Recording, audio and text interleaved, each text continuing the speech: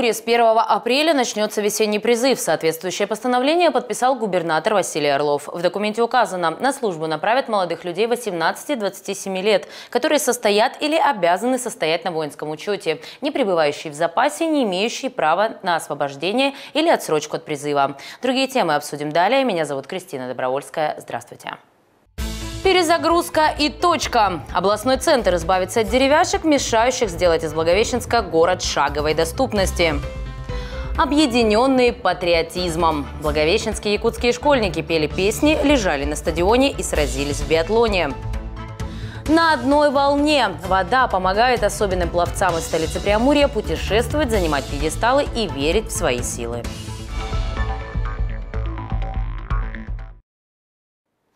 Единую транспортную карту, которая даст скидку на проезд в автобусах, введут в Благовещенске. О пилотном проекте рассказал Олег Имамеев. Так горожанам вернут возможность ездить общественным транспортом за 31 рубль. Действовать единая транспортная карта будет с июня. Как отметил градоначальник, это одно из важных мероприятий транспортной реформы. Проект пилотный, поэтому пока до конца года. Приобрести карту сможет любой желающий за символическую плату. Виртуальная, сгенерированная на сайте, будет бесплатной. Школьники смогут привязать транспортную к системе «Пионер». Расчет наличкой и банковской картой останется прежним – 34 рубля. Снижение платы за проезд, конечно, дополнительная нагрузка нагрузка на бюджет, но власти пошли на этот шаг, чтобы снизить нагрузку на семейные кошельки. Поддержали решение депутаты Благовещенской городской думы. Пилотный проект 2022 года набирает обороты. В Благовещенске начнут реновацию четырех кварталов в рамках комплексного развития территорий. О реализации масштабной программы рассказали на пресс-конференции в правительстве региона. С чего стартует реновация и какие районы преобразятся в первую очередь, расскажет Екатерина Борисова.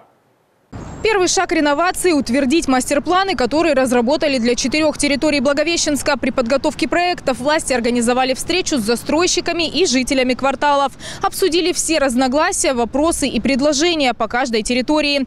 После город объявит конкурсы, подпишет договоры КРТ с подрядчиками. В рамках реализации проектов проведут ряд сложных этапов. У владельцев деревянных построек выкупят участки и недвижимость, которую в дальнейшем снесут. Также проконтролируют переселение местных. Как ранее сообщал мэр Олег Имамеев, комплексный и масштабный подход реновации целых кварталов позволит избавиться от главного якоря развития российских городов – точечной застройки. Реновация в первую очередь коснется центральных кварталов Благовещенска, Мухина, 50-летия октября, Амурской, Загородной, Октябрьской. Перестроить также хотят районы ЖД вокзала, набережной Зеи. Комплексная перезагрузка участков позволит создать в Благовещенске концепцию 15-минутного города. Согласно ей, областной центр поделят на районы, где есть все, что нужно для жизни. Магазины, места для работы, учебы, развлечений, занятий спортом, отдыха. Все они должны быть расположены в шаговой доступности. Благодаря закону о КРТ власти смогут контролировать взаимоотношения застройщиков и владельцев частного сектора, проверять легальность оценки недвижимости и участков, договоров и выполнению обязательств, чтобы обе стороны сделки были удовлетворены. Если удастся преобразить все деревянные кварталы Благовещенска, получится вместить около 600 тысяч жителей, что в два раза превышает население областного центра. Всего в рамках КРТ в Благовещенске модернизируют больше 80 гектаров с потенциалом жилой застройки 570 тысяч квадратных метров. Все проекты разработают с учетом запросов жителей. Особое внимание также уделят качеству. Каждое построенное здание или благоустроенная территория должна остаться на десятки, возможно, сотни лет и стать украшением города. Напомним, первый квартал комплексного развития территорий в Благовещенске определили в 2022 -м. Им стал район нового жилого комплекса «Чайка». Там помимо нескольких многоэтажек застройщик планирует разбить социально значимый объект – большой парк не только для местных, но и для всех жителей областного центра. Воплотить задуманное пока мешает заброшка, судьбу которой власти решают на федеральном уровне. Екатерина Борисова, Дмитрий Тарасов. Программа «Город». Судьбу заброшки на Островского Высокой решил несчастный случай. В результате пожара одноэтажный нежилой дом полностью сгорел. Черные клубы дыма жители областного центра видели даже с отдаленных районов, передает слова очевидцев Порт-Амур. Специалисты же сообщили, такому стремительному горению сыграл на руку сильный ветер и позднее сообщение о пожаре. Поэтому огонь набросился на постройку по всей площади еще до приезда пожарных. Потушить пламя им удалось за несколько минут, но учитывая погодные условия пожароопасную обстановку в квартале, спасатели проливали сгоревшую деревяшку еще несколько часов. Всего на месте ЧП работали 8 огнеборцев и 2 спецмашины. Обошлось без пострадавших.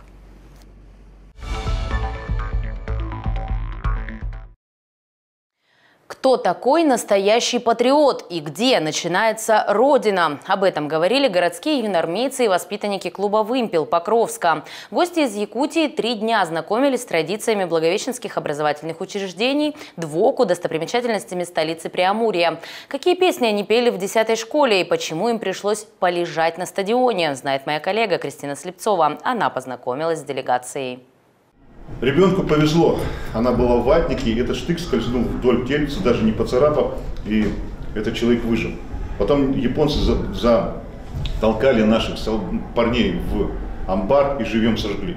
Леденящие кровь рассказы – это не выдумки и не из фильма ужасов. Это истории, которые происходили в 30 километрах от Благовещенска в Ивановке. С некоторыми подробностями руководитель клуба «Мотопатриот» знакомит не только юнормейцев 10-й городской школы, гостей. На встрече лучшие воспитанники военно-патриотического клуба «Вымпел» 4-й Покровской школы. С тем, что невозможно быть патриотом своей страны, не будучи патриотом своего рода, согласны и благовещенские, и якутские школьники. Несмотря на расстояние между нашими городами, их объединяет любовь к родине и истории. Благовещенск я уже не первый раз, а так больше всего понравилось э, Двоку, ну и музей. Больше впечатлило э, трофеи, которые э, выпускники дарили училищу. Там много разных автоматов, э, пистолетов, пулеметов, э, легенд войны, ну и вообще медалей всяких, подарков.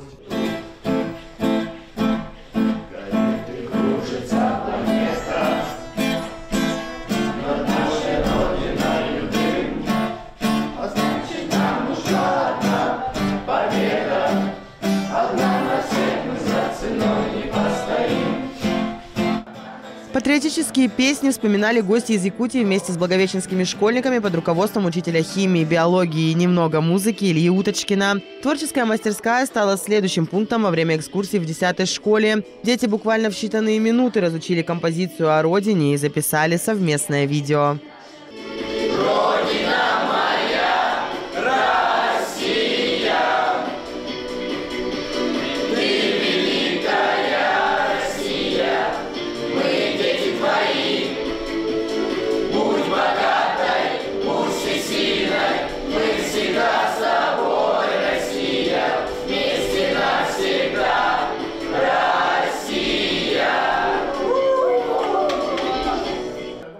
Познакомили школьников из Покровска не только с программами по военно-патриотическому воспитанию, но и с культурными особенностями города, провели экскурсию по главным достопримечательностям столицы Преамурья.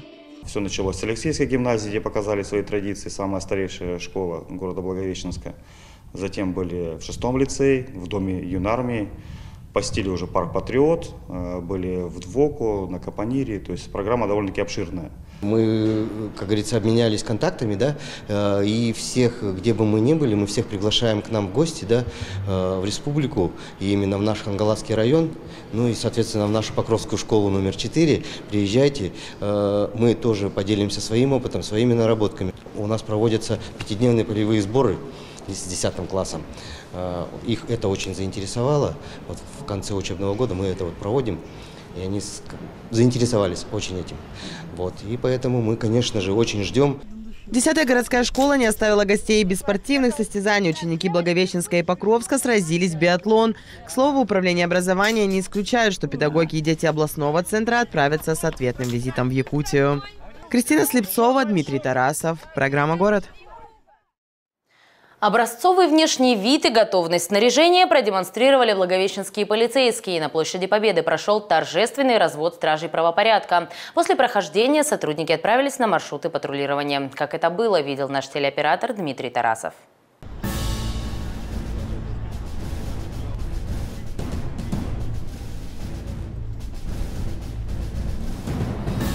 Первая шеренга на свои места. Шагом. Марш!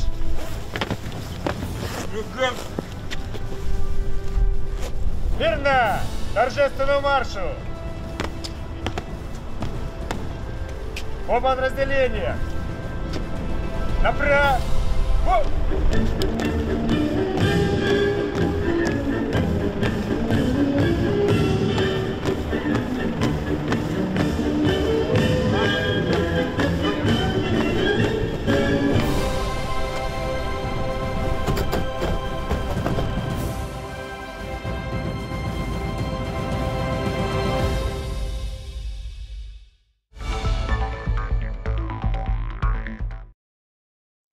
Десять медалей разного достоинства завоевали воспитанники бассейна «Надежда» на чемпионате и первенстве Дальнего Востока. Состязания прошли в Приморье и собрали 350 пловцов из 10 регионов ДФО. Благовещенск тем временем накрыла Амурская волна. Соревнования по плаванию под таким названием в регионе провели в четвертый раз. Участниками стали особенные спортсмены области и соседних регионов.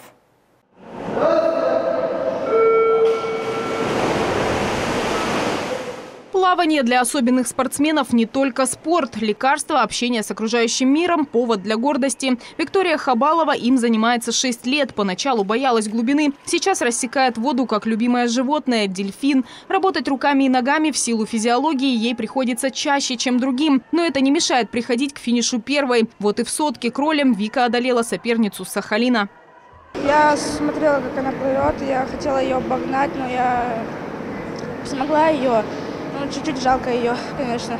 Я хочу на выйти в каких-то других странах, потому что в других странах могут тоже еще соревнования быть, и побыть там э, несколько дней, посмотреть, как там все, э, все устроено, и сделать свой хороший результат. Результаты спортсмены с поражением опорно-двигательного аппарата и интеллектуальными нарушениями уже показывают на всероссийском уровне. Артем Лазарев накануне вернулся с чемпионата и первенства страны среди лин, где выполнил первый спортивный разряд. Для него сам процесс очень важен, ему очень нравится, очень нравится.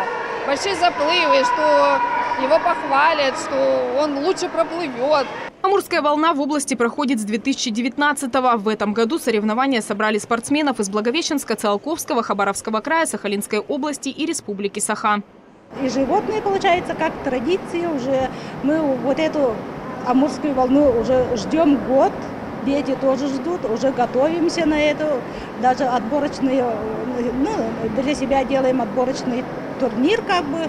И вот самых лучших возим сюда. Есть у меня вот дети, которые уже третий год сюда каждый год приезжают.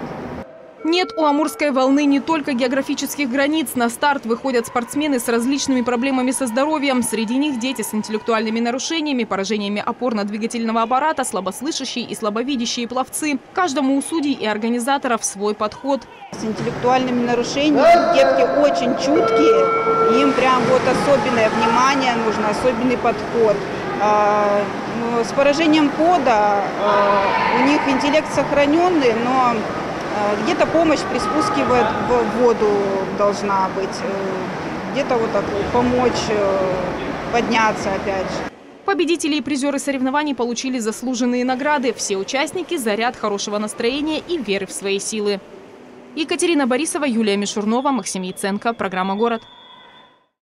Заряд хорошего настроения благовещенцы могут получить и в выходные. Юных читателей модельной библиотеки познакомят с роботом-помощником. Взрослых ценителей истории с раритетами Албазинского острога. Также по плану много спорта, мастер-классов и других видов досуга. Подробнее расскажем далее субботу не спите долго. С 9 утра стартует городское первенство по Киокушин. Чемпионат каратистов посвятили 78-летию победы в Великой Отечественной войне. Гостей приглашают на Ленина 46. Часом позже можно насладиться другим видом боевых искусств. Спортсмены всех возрастов сойдутся в поединках по тайскому боксу в микрорайоне на Студенческой 45-5. В 11 интерактивная экскурсия по Комаровке, приуроченная к неделе детской книги. Юных благовещенцев познакомят с современными возможностями библиотек, роботом-помощником, цифровой лабораторией и другими новшествами модельных залов. В Белогории тоже присоединятся к всероссийской акции. Самых маленьких читателей отправят в литературное путешествие по произведениям детских писателей. Начало в полдень. Взрослых ценителей книг и истории приглашают на встречу Албазинского клуба. Реконструкцию раритетных костюмов и личных вещей защитников Острога покажут в библиотеке «Центральная» в 14.00. В воскресенье приглашают на посиделки мастеров. Рукодельницы Дома ремесел расскажут о своих хобби и поделятся с гостями секретами декоративно-прикладного искусства. Мастер-классы и беседы начнутся в 11 утра. В 13.00 всех желающих зовут обсудить любимые книги детства и поделиться впечатлениями о самых запоминающихся литературных героях. Организаторы викторины подготовили для участников необычные ребусы и загадки. В городском доме культуры представят на суд благовещенского зрителя спектакль «Свои и чужие». Режиссерскую версию постановки от Сергея Малкова дополнит беседа о рассказах Надежды Тэфи, Михаила Зощенко и Аркадия Аверченко. Телезрителям, которые предпочтут остаться в выходные дома, тоже не придется скучать. В субботу, 1 апреля в 20.00 новый выпуск нашего интеллектуально-развлекательного шоу «Клевер». Не пропустите, в гостях на этот раз ведущий Андрей Добрый. Вместе с ним мы выясним, кто же все-таки настоящий мужчина в расцвете сил. На этом у меня все. Приятных выходных и до встречи в эфире.